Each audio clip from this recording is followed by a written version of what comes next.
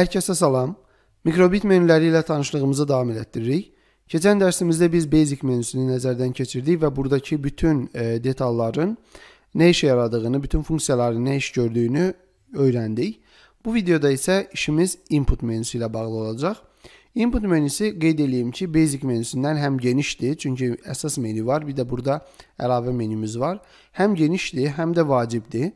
Əgər səbirlə bu videonu dinləsəniz, bu videonun sonunda mikrobitinizə inputdan, yəni girişdən necə məlumat daxil etməyi və bu məlumatları hər hansı bir işin icrasında necə icra etməyi, necə istifadə etməyi öyrənəcəksiniz.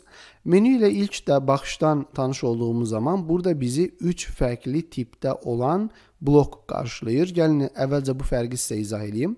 Baxın, ilk fərqli blok tipimiz budur. Bundan burada var. Və ikinci blok tipimiz budur. Fikir verin, ona oxşamır, fərqlənir. Və üçüncü blok tipimiz isə baxın belədir. Bunlar bir-birinə nəyinə görə fərqlənirlər? Bunu izah edək. Əvvəla birincisi hər hansı bir funksiyanı işə salmaq üçün olan blokdur. Yəni misal üçün A düyməsi basılsa, keçən dəfə öyrəndiyiniz show number-ni gətirib qoya bilərsiniz və yaza bilərsiniz ki 1. Misal üçün kimsə A düyməsini bassa, 1 görünsün ekranda. Və bu blokun içərisinə çox fərqli və mürəkkəb kodlar da yerləşdirə bilərsiniz. Bütün bu kodların icra olunması üçün sadəcə A düyməsinin basılmağı tələb oluna bilər. Yəni bu şəkildə gördüyünüz bloklar verdiyiniz şərtə görə, yəni A-nın, B-nin və ya A ilə B-nin bir yerdə basılması şərtinə görə içindəki bütün kodları icra eləyir. Yəni bu bunun üçün nəzərdə tutulub. Bunu ekrandan silək, bunu başa düşdük. Və ikinci gördüyünüz isə bu isə bir şərt blokudur. Bu tək heç bir işə yaramır. Bu hər hansı bir şərtin içində olmalıdır. Misal üçün indi bunu biz öyrənəcəyik təbii ki, logiki, amma mən misal üçün if-lə işləmək istəyirəm. Hər hansı bir şərt blokunu gətirirəm və basic-dən də sizin öyrəndiyiniz o on start ya da forever bloklarından birini gətirirəm.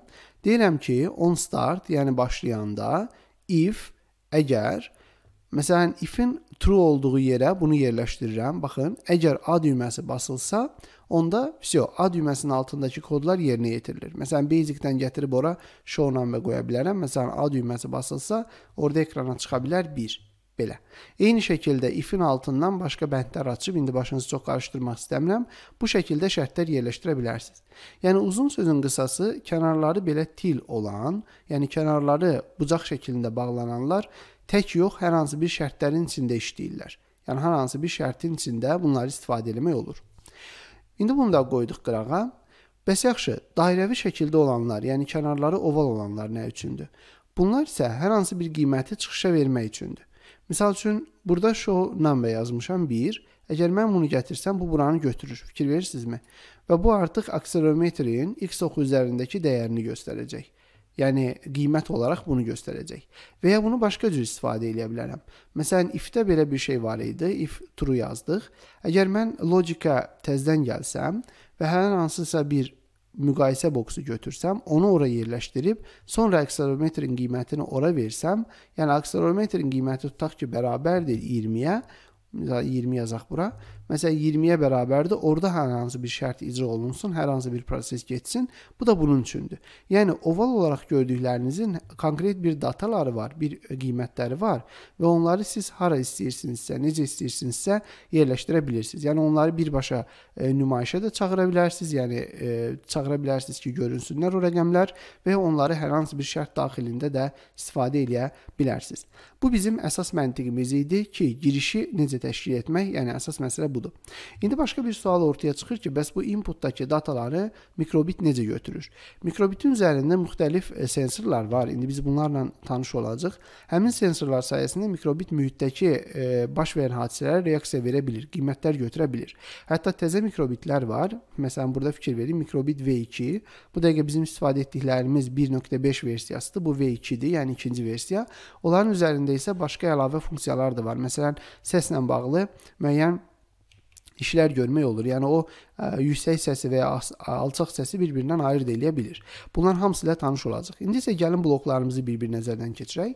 Burada gördüyünüz kimi ilk blokumuz, yəni helpdən istifadə edəcəm yenə də, çünki belə daha rahat olur. İlk blokumuz gördüyünüz kimi hər hansı bir düymə basılsa yerinə yetiriləcək əmrlərdir. Bu düymənin e, bu blokun götürdüyü e, parametrlərə baxdığımız zaman görürük ki, sadəcə düymə tipini istəyir bizdən. Məsələn, bunu gətirib ekrana qoyuruq və seçirik. Yəni A düyməsi mi basılsa hər hansı bir iş görülsün, B düyməsi mi yoxsa onlar ikisi bir yerdə basılanda mı hər hansı bir iş görülsün. Görüləcək işdə təbii ki, bu boşluğun içərisinə yerləşdiriləcək.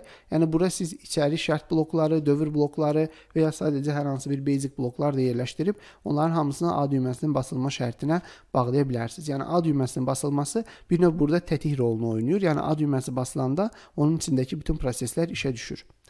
Bunu sildik. Ondan sonra inputun içində bizi gözləyir on shake.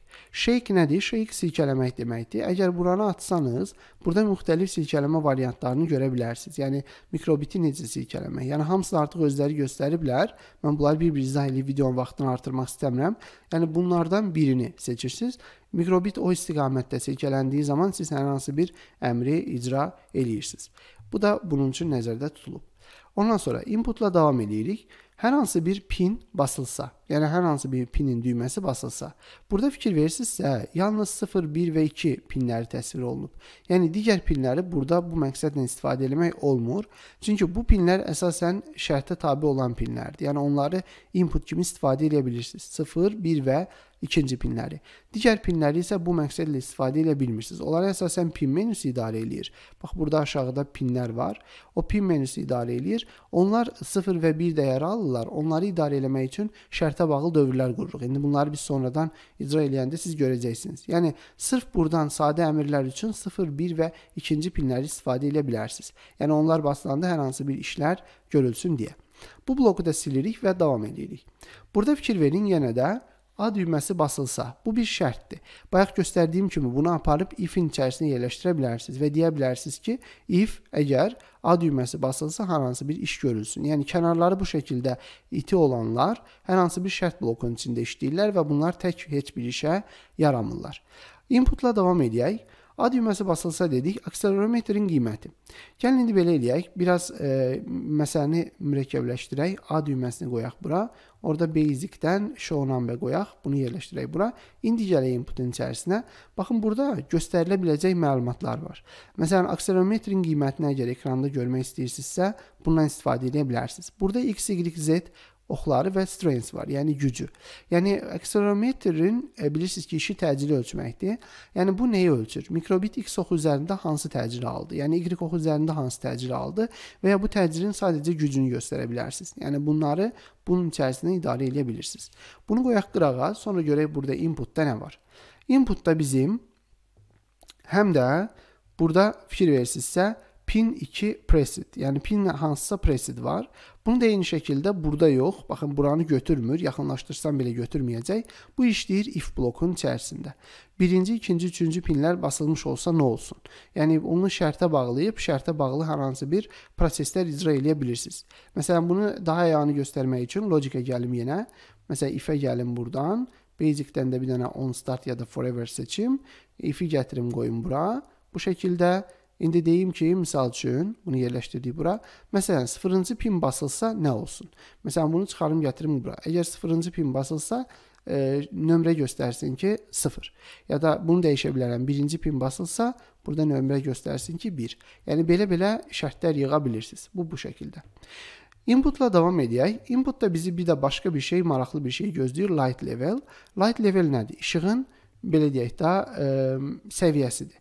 Light levelin e, helpinə baxsaq, yəni dokumentasiyasına baxsaq, burada görə bilərik ki, 255-ə qədər müxtəlif qiymətlər ala bilir. Yəni 0 tam qaranlığa uyğun gəlir mikrobit üçün, 255 isə maksimum işıqlı hala uyğun gəlir. Yəni bunu bu şəkildə siz e, tənzimləyirsiniz öz mikrobitiniz üçün. Bəs yaxşı, bunu hara yerləşdirə bilərik? Bunu yerləşdirə bilərik misal üçün bax bura. Yəni bu dairələr bilirsiniz ki, ağ xanaların içərisinə yerləşdirilir. Məsələn, indi bu kod nə edir? Bu kod başladığı anda gözləyir ki, pin 1 basılsın. Əgər kimsə birinci pinə toxunsa, yəni birinci pindən mikrobitə cərəyan versə, bu zaman işığın səviyyəsini ekranda göstərəcək. Yəni belə bir sadə iş görür. Ondan sonra gəlirik inputda davam edirik. Görək bizi burada nə gözləyir. Kompas heading var. Kompas da çox maraqlıdır. Kompas sizə nə qiymətlər verir? Gəlin buradan baxaq. Kompas sizə e, təbii ki, aydın məsələ ki, cəhətləri təyin eləyir və burada return hissəsində göstərir. Return deyir ki, yəni return nə deməkdir? Qaytarır deməkdir. Nə qiymət qaytarır? Hər hansı bir qiymət qaytarır dərəcə olaraq 0-dan 359-a qədər qiymətlər. Yəni 0-dan başladığı üçün təbii ki, bu 360 sayılır. Belə bir qiymət başlayır və kompasın dönmə bucağını göstərir. Deyir ki, əgər deyir kompas hazır deyilsə, sizə mənfi e, belə deyək də minus qiymətini qaytarır. Orada səhv eləmirəmsə mənfidir. Yəni ola bilər ki, orada bəli mənfidir, dalğalı xətt deyil, minus qiymətini qaytarır. Yəni bunu siz qoymaqla kompasınızın hansı dərəcə göstərdiyini görə bilərsiniz. Məsələn, yadınıza gəlirsə Basic-də bizim başqa bir kompasımız da var idi. Keçən videoda nəzərdən keçirdik. Bu sadəcə cəhətləri oxla göstərirdi. Yəni kobud bir kompas idi, 8 istiqamət göstərirdi, amma bu isə artıq daha dəqiq göstərir. Məsələn, mən əgər light level burdan çıxarıb yerinə kompas qoysam, bu zaman siz birinci pini yandırdığınız zaman sizdə artıq işıq səviyyəsi yox, kompasın e, dönmə bucağı, yəni neçə dərəcə döndüyü göstəriləcək. Inputla davam eləyək. Burada çox maraqlı şeylər var. Ondan sonra temperatur gəlir. E, şagirdlərin ən çox sevdiyi, yəni ən bəsit kodlardan biridir temperatur. Temperatur nə ilə ölçülür? Temperatur təbii ki, dərəcə Selsilərlə ölçülür. Burada kod blokuna da baxa bilərsiniz. Return deyir, qaytarır hər hansı bir temperatur qiymətini dərəcə Selsilərlə.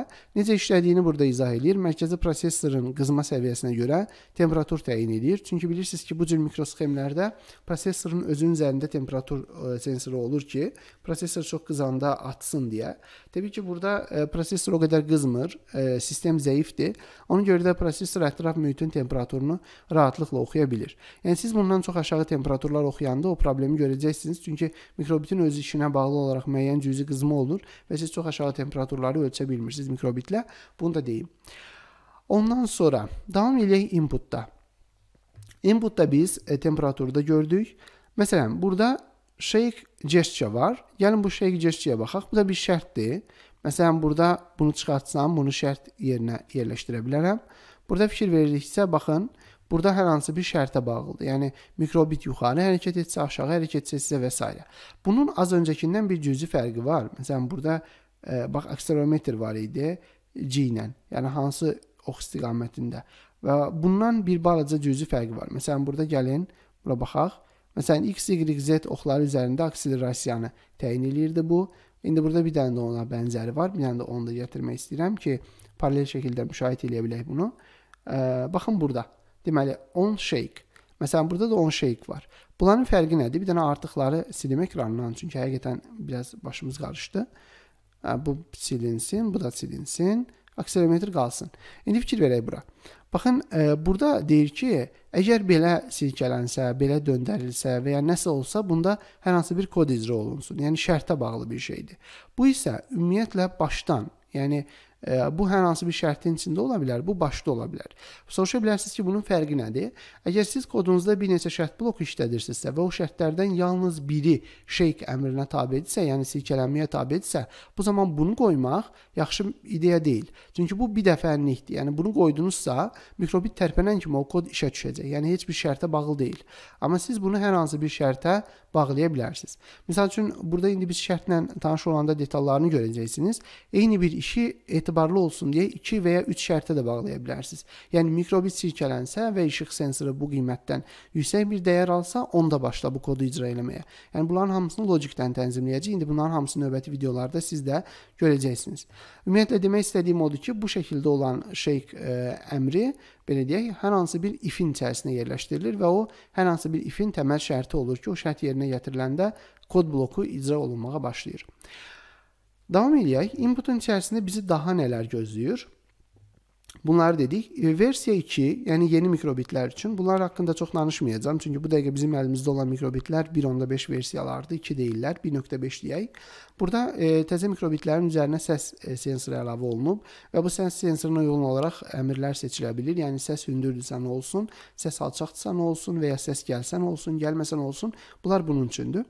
Mən more hissəsinə keçmək istəyirəm, çünki burada da çox maraqlı ə, bəzi kodlar, kod blokları var ki, biz onları da bilməliyik. Məsələn, bunu da söndürək. More hissəsində bizi nə gözləyir? More hissəsində bizə rotation pitch ə, var. Rotation pitch nədir? Dönmə bucağı. Yəni məsələn siz istəyirsinizsə mikrobit nə qədər döndüyünü sizə göstərsin. Fikir verirsinizmi? Burada sizə pitchlərlə və ya rollarla nə qədər döndüyünü ekrana qiymət olaraq gətirə bilir. Yəni yenə deyirəm, dairəvidirsə bunu aparın dairələrin içinə qoyun. Yəni onun üçün hazırlanıb bu. Yox əgər o kənarları itidirsə onu gətirib ifin içərisinə qoyacaqsınız. Morun içində daha nə var? Magnetic force təyin edə bilir, yəni maqnit gücünü. Maqnit gücü haqqında helpə baxanda onun qiyməti burada helpin içərisinə yazılıb. E, baxın burada biraz aşağıda return bəli mikro e, deməli Teslalarla maqnit sahəsinin gücünü bizə qaytarır. Burada fikir verirsinizsə, burada maqnit sahəsinin gücünü qaytarır. Əgər siz bunu rəqəm şəklində ekrana görmək istəyirsinizsə, bu zaman bunu gətirirsiniz, qoyursunuz e, hansısa bir ə, belə deyək də icra blokunun içərisinə və o sizə maqnit sahəsinin gücünü az öncə dediyimiz kimi mikro Teslalarla qaytarır verir. Və bir də həmçinin cəhəti də təyin edə bilir. Yəni bu mikro Tesla ilə olan maqnit gücü hansı istiqamətdən gəlir, bunu da sizə çox rahatlıqla təyin eləyir. Yəni X-dan mı gəlir, Y-dən mi gəlir, yoxsa Z-dən mi gəlir? Bu şəkildə. Morun içərisində bir də running time var. Running time iki cür göstərilə bilər.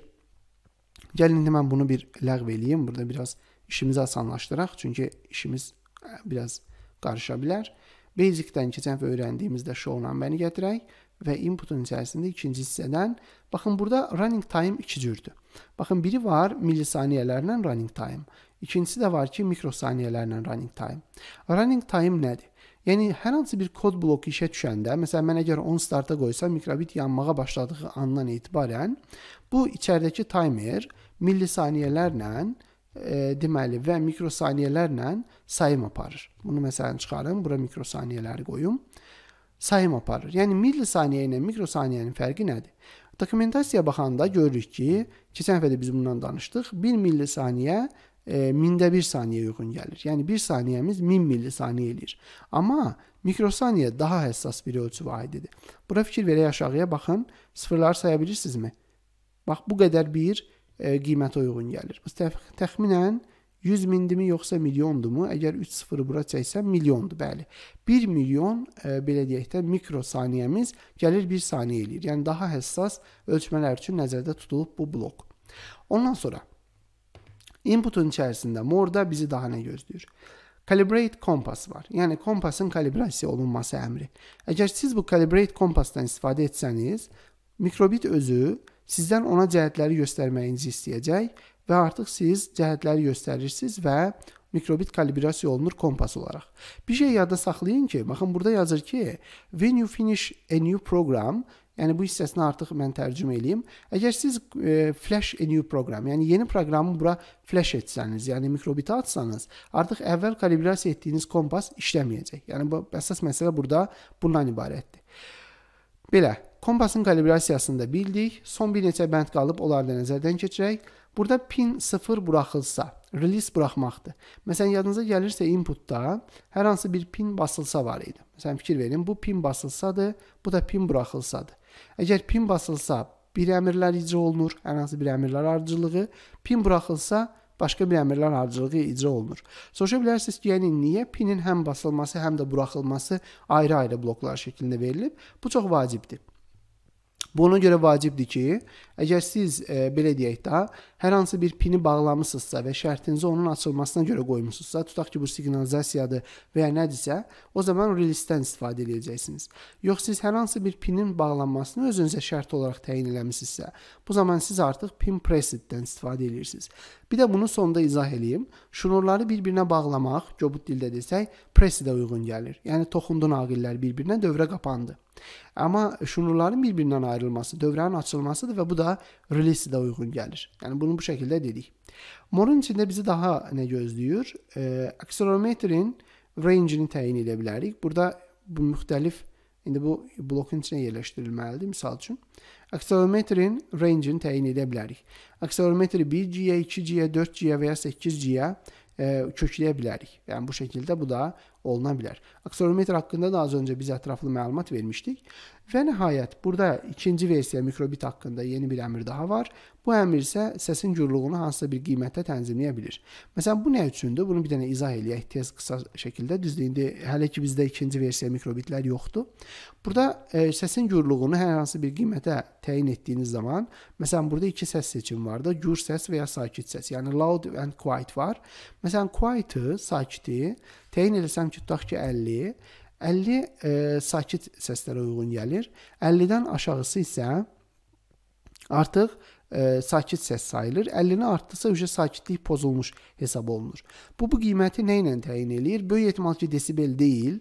Bunun öz ölçü vahidi var. Yəni 0-dan 255-ə qədər bir də burada dokumentasiyada yazılıb loud sound e, gücü səs 255 olur. Yəni bu qiym arada bir qiymətlər ala bilir bu.